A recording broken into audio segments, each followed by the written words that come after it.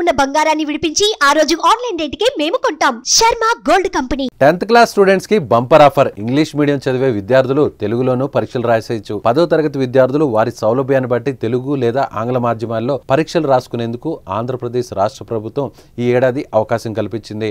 Public పరీక్షలకు ఆన్లైన్లో వివరాలు నమోదు చేసే సమయంలో తమకు నచ్చిన మాధ్యమాన్ని ఎంపిక చేసుకోవచ్చని తెలిపింది. దరఖాస్తులు సమర్పించడం పూర్తయిన వారు కావాలంటే నచ్చిన మాధ్యమానికి మార్చుకునే ఐచ్ఛికాన్ని కూడా అందుబాటులో ఉంచింది. అన్ని ప్రభుత్వ పాఠశాలల్లో ఒకటి నుంచి ఆరు తరగతుల విద్యార్థులను ఒకేసారి ఆంగ్ల మాధ్యమంలోకి మార్చుతూ గత వైఎస్ఆర్సీపీ ప్రభుత్వం రెండు వేల ఇరవై ఇరవై ఒకటిలో ఆదేశాలు జారీ చేసింది. అయితే ఆంగ్ల మాధ్యమం అమలుపై సుప్రీంకోర్టులో కేసు దాఖలైనందున ఇంగ్లీష్ మీడియం అని వాడకుండా ఒకే మీడియం అని ఉండాలని ఆదేశించారు. అనధికారికంగా ఆంగ్ల మాధ్యమే అన్నట్టుగా వ్యవహరించింది అప్పటి ప్రభుత్వం. ఒక్కో తరగతి ఆంగ్ల మాధ్యమంలోకి మార్చుతున్నట్టు ప్రకటిస్తూ పదో తరగతిలోకి వచ్చిన విద్యార్థులు ఆంగ్ల మాధ్యమంలోనే పరీక్షలు రాయాలని నిబంధన పెట్టారు. ఒకే మాధ్యమం అమలు చేయాలని చెప్పడం మినహా ఏ మాధ్యమం అనేది చెప్పకపోవడంతో చాలా వరకు ప్రభుత్వ పాఠశాలలో తెలుగు ఆంగ్ల మాధ్యమాలను కొనసాగించారు. ఇలా తెలుగు మీడియంలో చదివిన విద్యార్థులు తెలుగులోనే పరీక్షలు రాసేందుకు అవకాశం ఇవ్వాలంటూ వారి తరపున ప్రధానోపాధ్యాయులు కోరడంతో కూటమి ప్రభుత్వం ఈ ఒక్క ఏడాదికి అనుమతినివ్వాలని నిర్ణయం తీసుకుంది.